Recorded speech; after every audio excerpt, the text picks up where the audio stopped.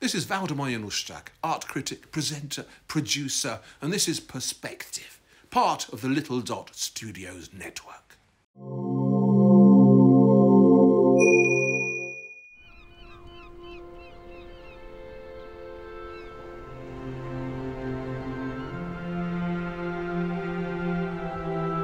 I'm Grayson Perry. I'm an artist. And back in January, I set out to make art about probably the most divisive issue of my lifetime Brexit. So after the referendum, I thought it crystallised a divide in our nation that seemed to be mainly predicated on emotions. It was a very simple yes no question. Do we want to stick with that lot on the other side of the channel? Then, five weeks ago, there was a dramatic twist in the tale. Along comes Theresa May and she calls a snap election. Everyone is welcome here, no hate. Behind both the election and the referendum, I think a deeper shift is taking place.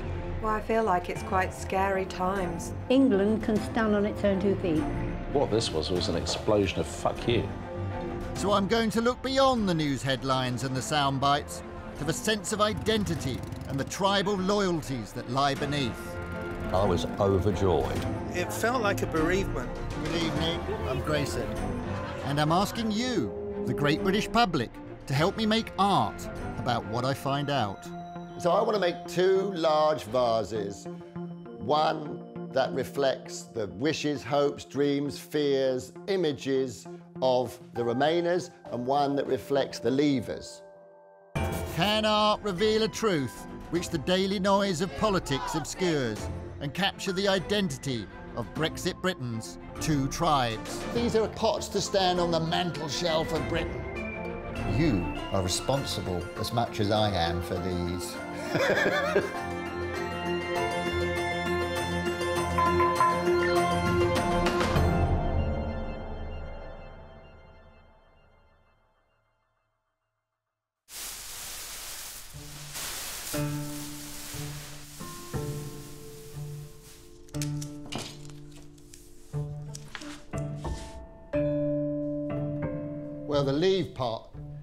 is the slightly larger one. It's probably maybe as much as 4% larger. January 2017. And for the first time, I'm using social media to crowdsource the imagery on my pots by asking Leave and Remain voters to send me pictures of themselves. Although I voted to remain and have supported Labour in the past, I'm going to try and park my personal views and make art that's true to the feelings of both sides. I started with the leavers. I like this one, Hammer, Thor, in his little patch of England. Brexit baby. I'm bored with being told I'm racist. I bet you are. Wheelchair basketball player. Definitely the coolest one so far. I voted Leave and can't stand how the country is at the moment. That idea of sort of rebellion against the status quo, that sort of idea that the Leave vote is a, is a kind of up yours to something, is this sort of feeling of, "Brr, I'm against.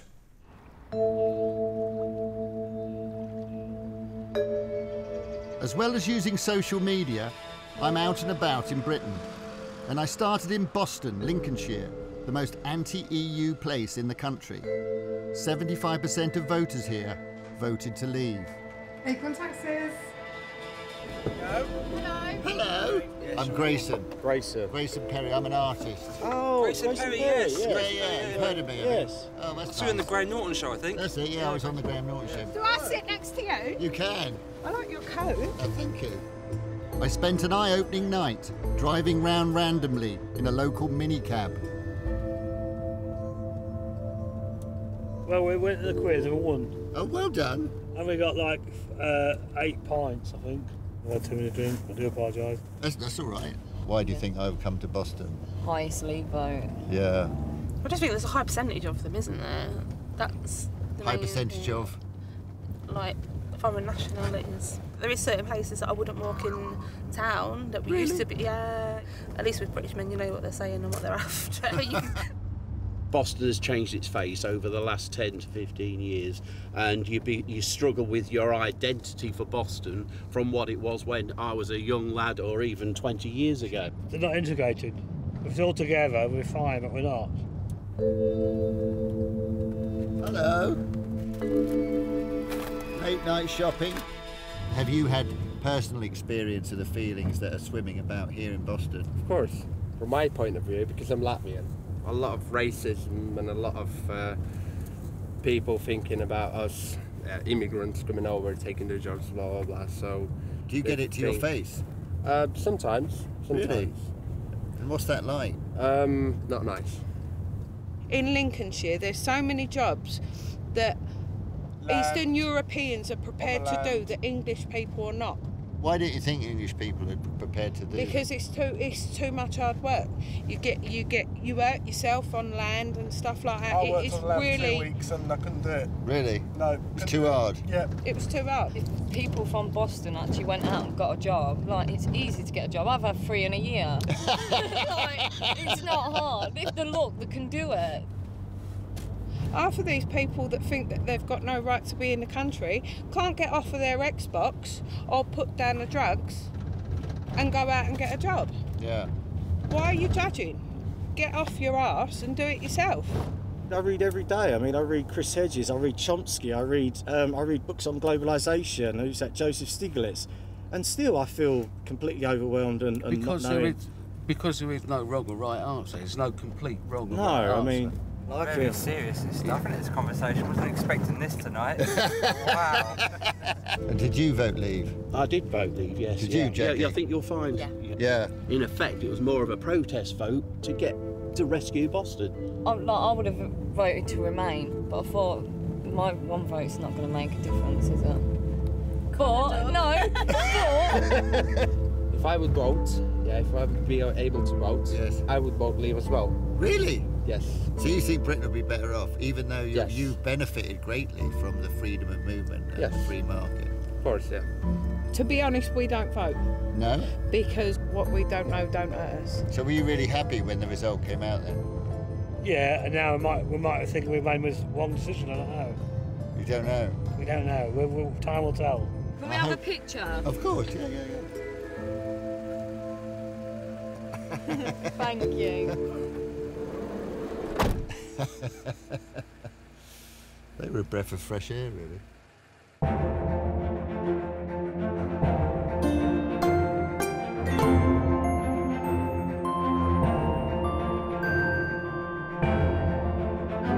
One of the things that I've noticed, I think, about the referendum, it's inflamed people's passions more than anything that I've seen in my lifetime.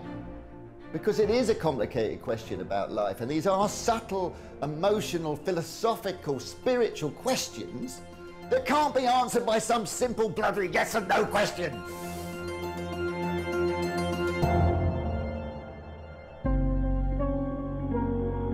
Next, I turned my attention to the Remainers.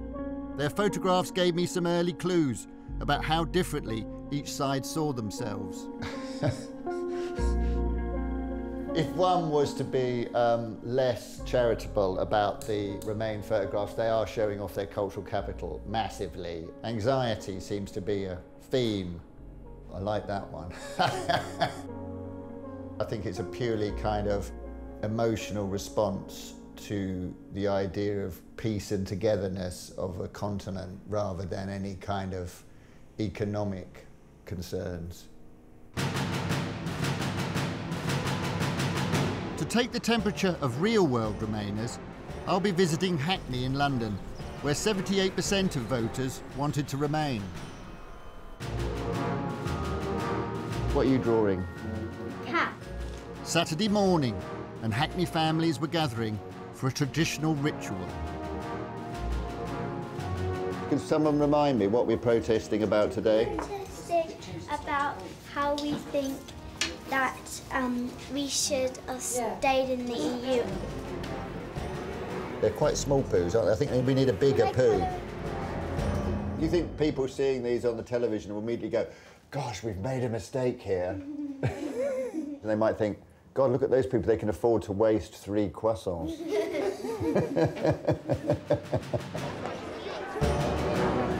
Hackney was out in force today for a national protest march in central London against Brexit.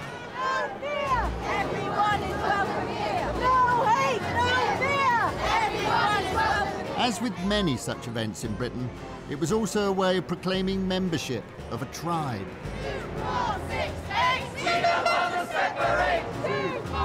In many ways, going on a protest is a kind of fun leisure activity, you know.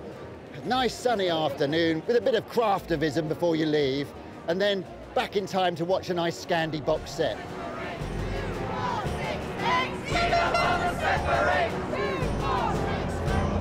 This country has been built with economic migrants, with people that have come to establish community here.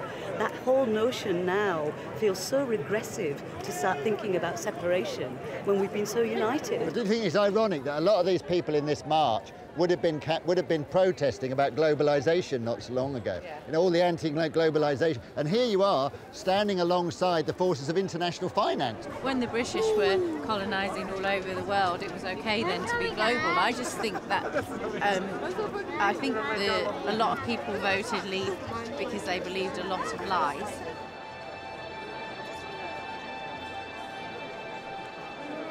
The tectonic plates of British identity were shifting.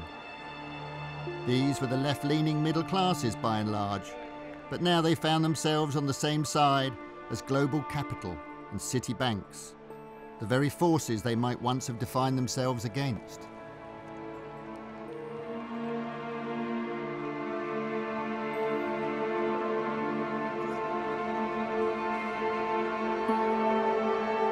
Remainers are more likely to be people of anywhere, that they've got a kind of identity and a confidence that feels they can go anywhere in the world or anywhere in the country. They see the future as more like uh, an adventure on which they are well equipped to embark.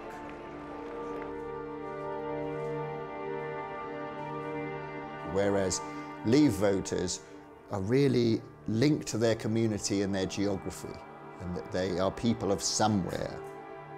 They feel their identity is under threat because their locale is under threat, their way of life is under threat, they feel. The referendum question, in many ways, was well pitched to highlight this div- divide. But for all the tribal markers on display here, how deep did this division really go? I needed to go back to Boston and to Hackney to find out.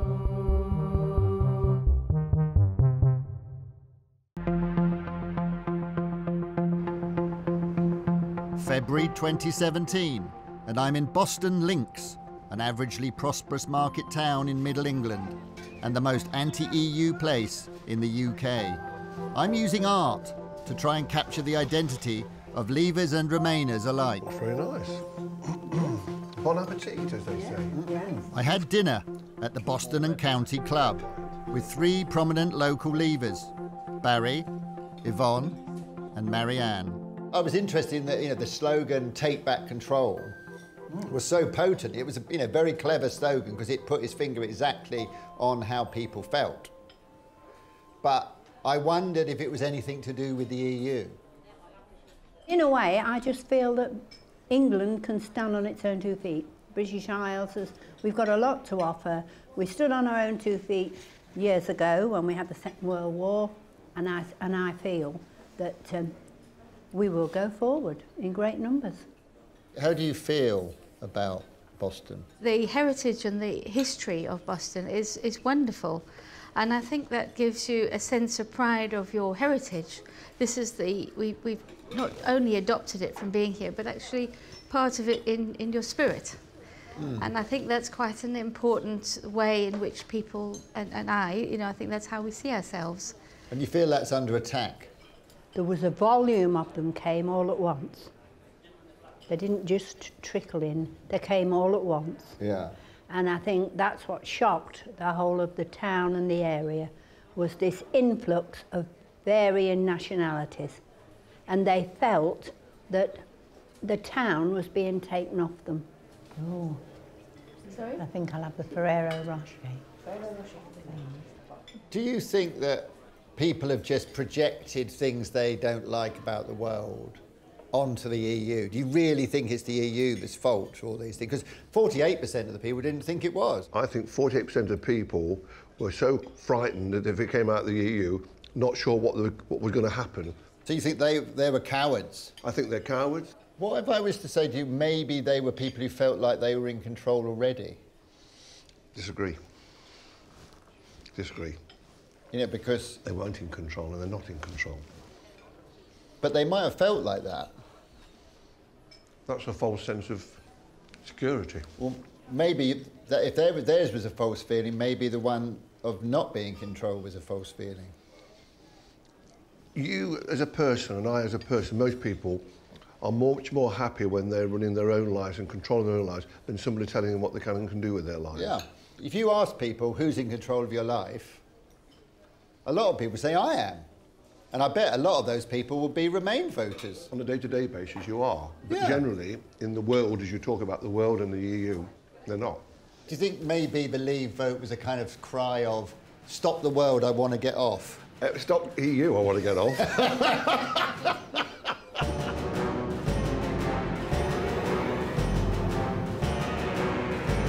Here was a nostalgic, intensely local sense of identity and a desire to protect the life they felt they used to have.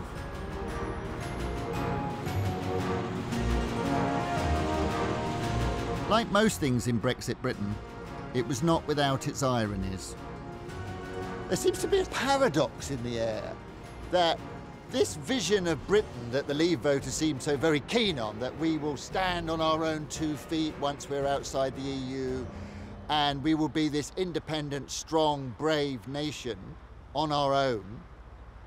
This vision seems to be, you know, supported here, particularly here in this agricultural area, by vast fields of industrial farmland that are serviced and worked on by huge numbers of, of, of immigrants. That's what confirms for me, really, that this is not a rational conflict. For all the boost to national prestige the Leavers felt, it had taken a hit in Piotr's eyes. He was the only migrant worker I met who would talk to me on camera. How do you feel about the fact that you're living in the place which is one of the most leave vote parts of Britain? The people scared because Who, what people are scared? The immigrant im- im- people? immigrants people, Immigrant people are scared. Scared. All my family is here, so it's big difficult. You know, the, the change everything now, go back. Yeah. No, it's, it- it's, it's, it's, it's not easy. I'm 10 years in here, so, you know, it's long, long time. So now, why the country same tell me, go out? Does it seem mad?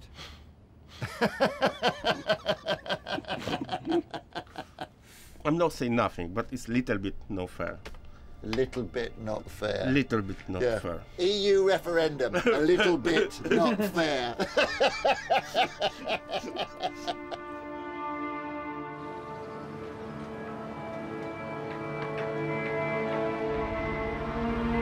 In all my time in Lincolnshire, I sensed no regrets amongst the leavers. It seemed the freedom of the open road beckoned, both for Boston and for Britain. So I asked the local biking fraternity why leavers embraced the very prospect the Remainers feared.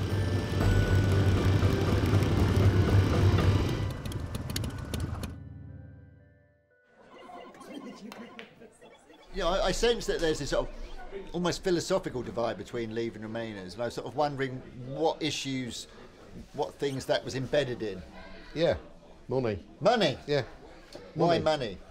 Because because you got economists and you've still got them saying, you know, we're going to lose money. You know, we're all going to be in poverty, etc., etc. A lot of the people from your neck of the woods have a lot more money than people out here, Yeah. and they're scared of losing some. Right. I really do think that finance and economy was a big thing for the Remainers. And the fact they're scared about taking that step into the unknown, where I think the Leavers have just got a bit more bit more guts. A lot of the people that I know that vote Remain would, would kind of think of themselves as liberals who think there are higher values than money, Mm. you know, and it would horrify them to think that they had voted on the side of money. Mm. Oh, It's just just so happens that our house has kind of gone up in value by 20 times, you know. and that somehow we would never vote to protect that. No.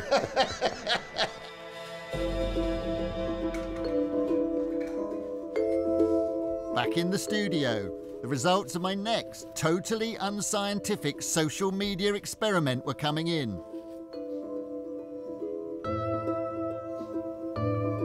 Confirmed how different the self presentation of each side could sometimes be. I asked both sides, Leavers and Remainers, to send me pictures of their tattoos.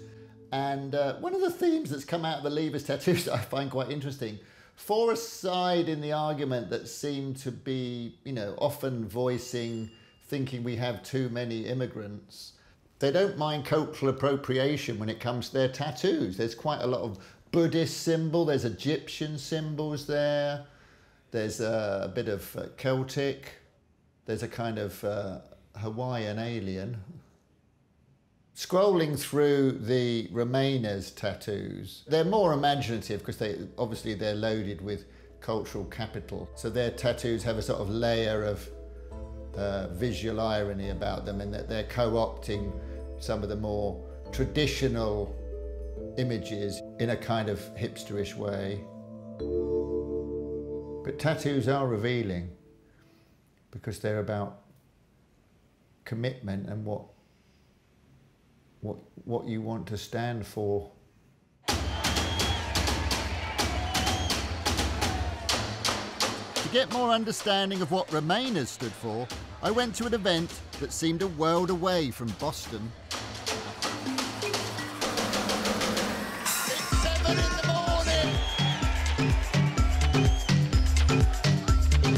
It was an early morning sober rave where Hackney hipsters party before going to whatever jobs it is they do. Morning, morning, Gloryville. How you doing? Let's keep it moving, keep it grooving, keep the energy high. We won't be moving. The, the mad thing is, you know, we're here today playing African music. We came from Africa. So to say, no, we you know, us white people, right, we're going to defend our tiny little island and our tiny little values. It felt like a bereavement. Are you ready, everybody? Keep it lively.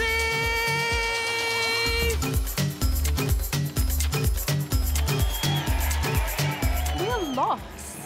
Grief, actually. I cried actual Yeah, tears. yeah. Yeah, Yeah, I went home and I cried. Yeah, I was Gutted. really, really upset. I felt like after the Olympics, and it, it felt like I'm going to cry again. it oh. felt like everyone was so together and we celebrated being British and what that meant as togetherness and being part of something, and it felt like that was sort of ripped apart. Yeah.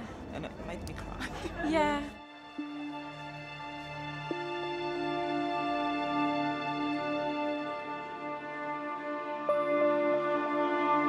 Hearing how emotional these Remainers' reasons were brought home to me the elementary blunder the Remain campaign had made. They cast themselves as the purely rational side of the argument. They marshalled facts, but failed to pitch their message to the heart.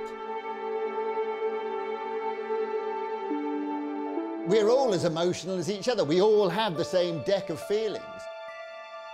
It really showed up for me the abstraction and fuzziness of the motivations on both, you know, both sides. Because if Leave voters have this kind of abstract of we're going to stand alone, then the Remain voters seem to have this one of peace and unity. What the referendum represented in many ways was a kind of watershed on which the, the emotional sort of rain of Britain fell, and it either went one way or another way.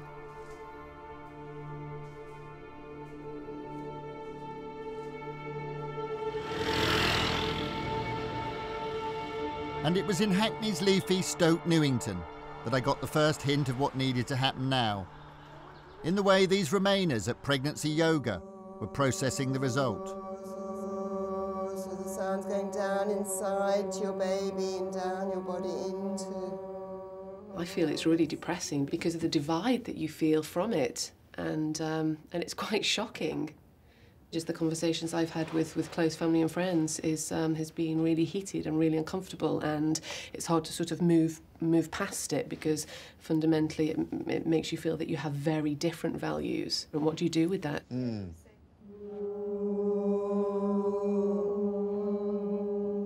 I mean, how do you feel as Remain voters being characterised as this sort of privileged metropolitan elite? And curiously, something I've heard from the Leave voters as well is that they see the Remain voters as wanting to hold on to the status quo because that's they've got the money already. Mm. I think it's fair enough. I think they're right. I mean, I think we should hold our hands up and say this thing that we didn't, this wall that we didn't see, was there, and we've. We, I feel I'm a person that has done well out of the system so far as it is, and there were people that weren't doing well, and I didn't see it. And to me, that's a huge sadness and a huge shame that that I didn't notice that. We can't think of ourselves as outsiders anymore. You know, we are the establishment. We have, these are establishment values we're talking about here now. You're sharing, you know, I'm sure David Cameron, George Osborne, if they were squatted around the floor, wouldn't be that far off our values in many ways.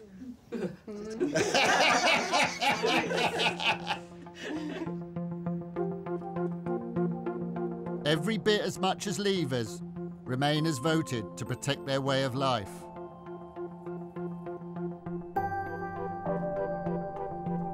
And when both sides sent me photos over social media of their favourite things about Britain, they spoke of something deeper than all the cultural differences I'd seen. I'm just looking through some of the photographs that Leave voters have sent me of what they love about Britain. The Queen, of course, the village pub, quite a lot of the village pub, the modest countryside of Britain.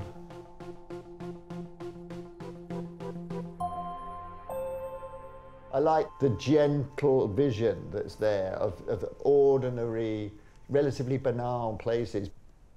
I think there's an honesty about it. These ordinary things are what makes us happy, and I think these photographs are a real reflection of that. Many ways, though, the photographs that the Remain voters have sent me, uh, they've got a similar kind of tone to the ones the Leave voters. You know, there's a kind of humour, there's a kind of all those lovely everyday things we all love, a good fry up, a good drink, a nice walk in the country, our pets, the seaside. And I think that the, the noise of the Brexit argument often is a distraction from th- the rest of our lives, which I think are much more similar. For all the different tribal markings they'd displayed for me, when it came to what they loved about our country, the two sides were very much the same. Our identity is so much more shared than it is divided. The feelings that made us vote either way were actually a small part of who we are. Started to get an idea about what they'll look like. In my heart of hearts, what I want when, when these vases are displayed is that people won't really be able to tell which one is leave and which one is remain. I'm not quite tempted not even to label them. But this spirit of underlying unity that I hope my pots might capture was about to be put to the test.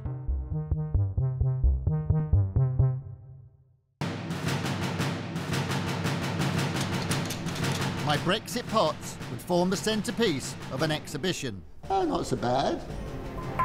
It's in one piece. Scheduled to open in London, ironically as it turned out, on June the 8th. Well, I've just heard on the radio that Theresa May has called a snap election for June the 8th, um, which really throws the whole kind of Brexit issue even more into the spotlight. I mean, in many ways, it'll be interesting to see how the kind of arguments that we've heard around Leave and Remain sort of play out in the party political fight that is to come. For the next six weeks, I still had to apply successive layers of transfers to the works.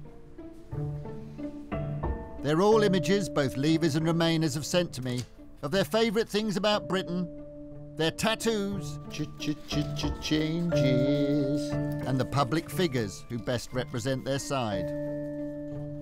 But what might happen to the two tribes now the election had been called? Unfashionably, perhaps, I asked an expert, pollster Ben Page. What are the main issues in this election and how does Brexit fit into that mix? Well, Brexit is one of the most important issues for voters, but it's alongside things like the National Health Service, immigration, education, and the economy. So it's, it has been consistently one of the top two issues, but it's certainly not the only thing that people will be thinking about when they decide how to vote.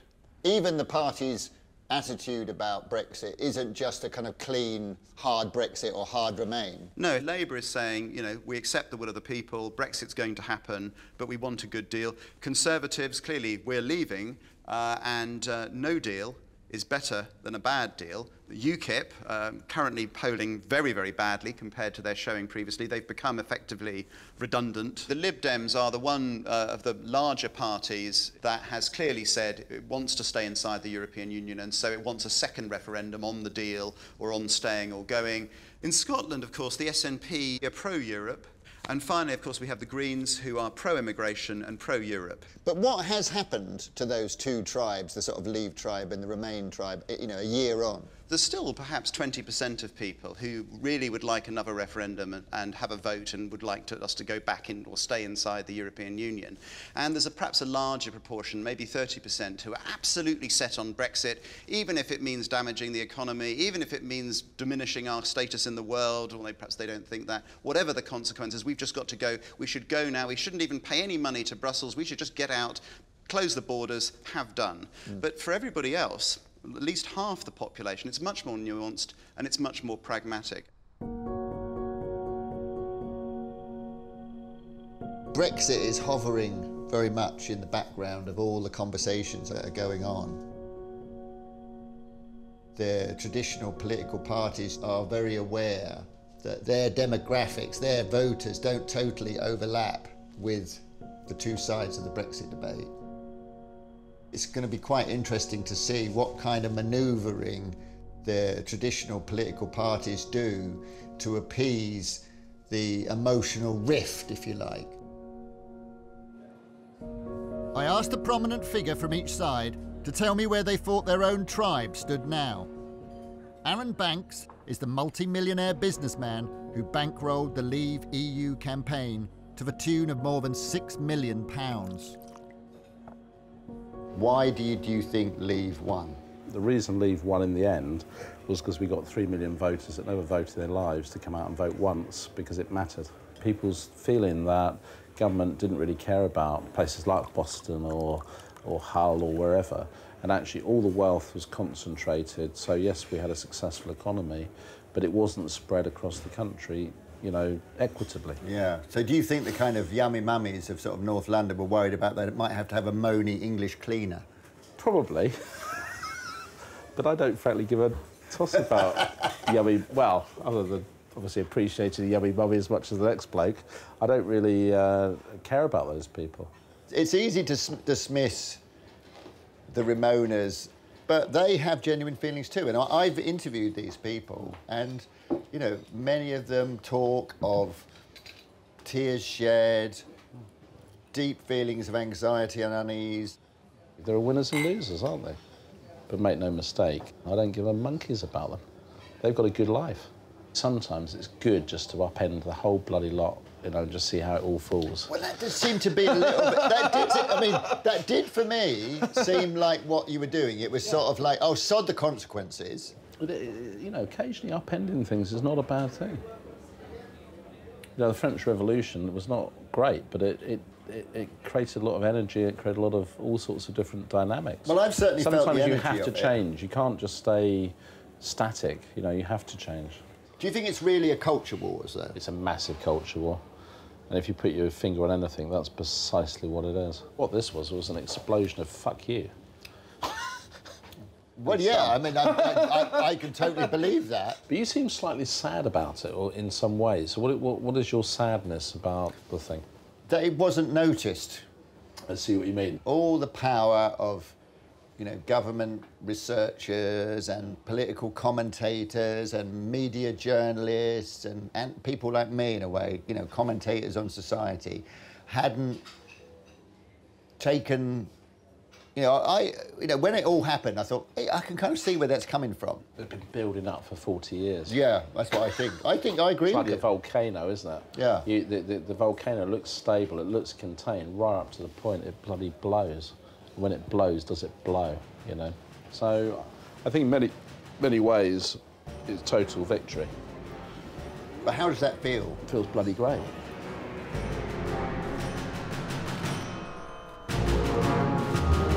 Remain campaigner Gina Miller took the government to court over Brexit and came third in my straw poll of the Remainers' favourite people. Now she's fronting a new campaign to encourage tactical voting to prevent a hard Brexit. We've seen this crystallization of a long coming divide in our society that the referendum has thrown up. And then we have the old traditional party loyalties. And what do you think is the interaction between those things that we're going to see in the, in the run up to the election? What I'm hoping is that we move above politics to that place which is what is right and wrong for us, what is right for Britain, what is the best for Britain. Um, and I don't believe at this moment in time it's around the political, traditional tribal party politics. So what's the slogan then? Because you know one of the things that I think you know why the Leave campaign was so successful is because they had you know um, take back control, which And it's very spoke good. directly to Yeah, the yeah. issue. Emotionally, it was bang on target. No, it was absolutely, it was a great campaign. What's your slogan? Well, well, at the moment, it's, I I think uh, we have to put principles above politics. What I worry about is that you will make the same mistake that the Remain campaign, I think, made, which was they they were too clever. Well, that's why it's got to be people in the NHS, the nurses, it's got to be across society. We just need to step back from the emotion of this. And that's what I'm asking people to do. Step back from the emotion, let the emotion subside, and bring in logic, reasoning, and choice. I think that's a big ask. Having met Arron and Gina, it's almost like I can see two people there, like a culture war of character. For the Remain side, I see a kind of metropolitan, sophisticated person that's well educated, uh, tolerant, seen lots of, uh, you know, has lots of friends from all different cultures and parts of the world. The Leave voters, perhaps, they're angry. You know, it's about kind of puncturing the, pre- the pretensions of what they would regard as the overeducated.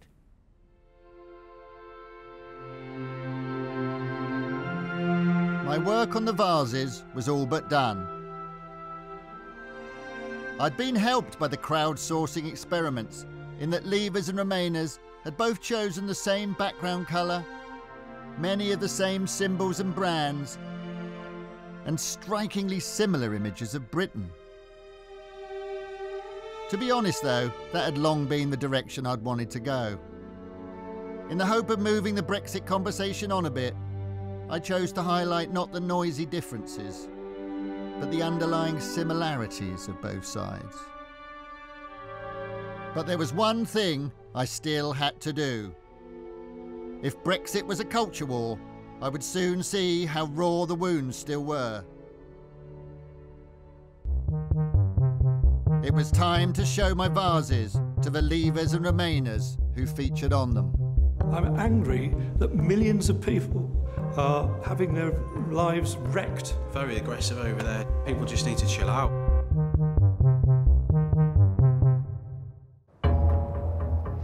The day was fast approaching for the opening of my exhibition at the Serpentine Gallery in London. And it was time to bring together the two tribes of Brexit Britain, Leavers and Remainers, who feature on my pots. It's a kind of odd moment, this, because uh, for six months nearly now, I've been looking at photographs of these people and working on them every day. My only contact with them has been one photo sent online six months ago, and now they're going to come here. Hello! Before I brought them all together, I first showed the Remainers their vase. We've gravitated to the right spot. Yeah, that's a good question.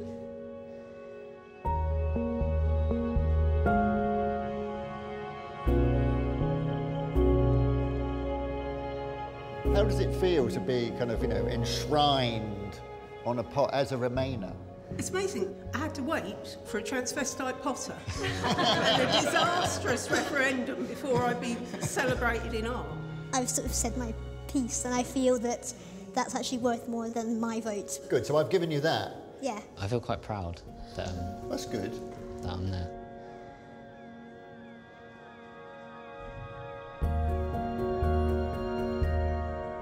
Do you think that being a Remainer has become part of your identity somehow?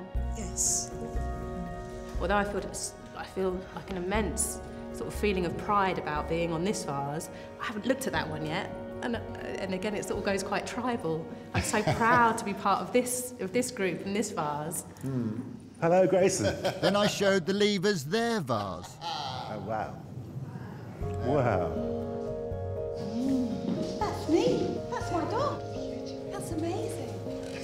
That's close to immortality.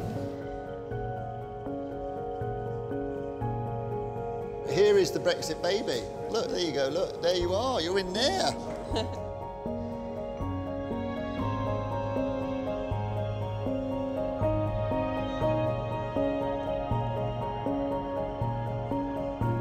Do you feel that, that, that, that this is a, a big part of your identity, being a member of this Leave voter group? Yeah. Yes, definitely. Yeah. I, I, I wanted to join the army to, to do things for my country, and I think that this is one of the things that's just more important as it was when I went to Iraq. This, this has made me more confident in our country because I feel as if yeah, because I feel as if we can do this. Finally, I brought my leavers and remainers together.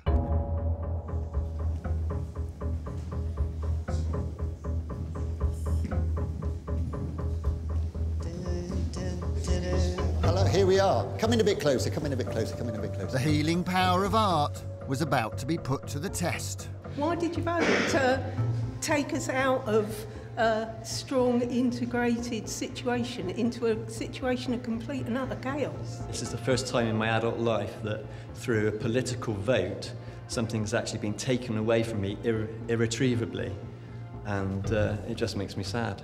I feel as part of the 48%, it feels very painful because a lot of the things that I hold dear feel like they're changing and there's, it feels like there's very little I can do about it. I've been really hurt and upset by how distressed some people were over the outcome. I had never anticipated. I thought I was voting to leave an economic union. I'm angry that millions of people are having their lives wrecked just from this ridiculous vote for possibility that you might just in 10 years time have an economic situation as good as it is now. I feel upset that they're angry. I don't know why. I think maybe they're scared because anger comes from being scared, and I'm not scared. I'm looking forward to it. We now need to come together. There's no good keeping on with your Remain thing. We don't care. We're coming out. Uh, I, I just feel like people just need to chill out. Very aggressive over there, just like we're Great Britain at the end of the day. We're not going to crumble because we've come out of the European Union. It, this is like a family argument, you know. We're going to get over it. Matching pair, that's what they're called. You know, people that seemingly have, you know, quite opposing philosophies about the referendum, and yet the two vases, they've come out pretty much the same. Very surprised indeed. I thought there would be uh, uh, very noticeable differences between the two, and I am surprised. You know, why would they be different? We're all from the same country. They're all British. I think you've given us, I think we've given me food for thought to think about how similar we are and not how different we are. Makes me think that we all have to be careful about the way in which we're kind of encouraged to divide. The pots just represent what, what is reality. I'll, any of you want to meet me down the pub in a minute, we're, we're up for that. When you walk in, unless we know what pots they are because we're on them, but anybody else walking in wouldn't necessarily pick them out. We are the same, we are a matching pair.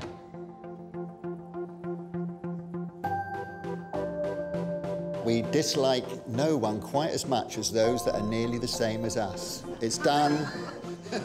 I've made the work. Thank you all. Thank you.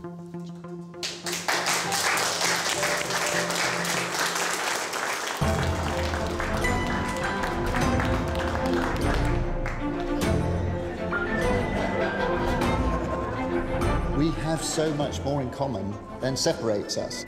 In a, funny way, what happened in this room is a microcosm, I think, of how we might go forward as a country. People want to be heard, and I think the referendum has given a voice to a section of society that perhaps felt left behind and unheard. Hello. And it's great to show in these vases that they're not so different. I mean, we've seen intelligent voices on both sides of the argument here today in this room.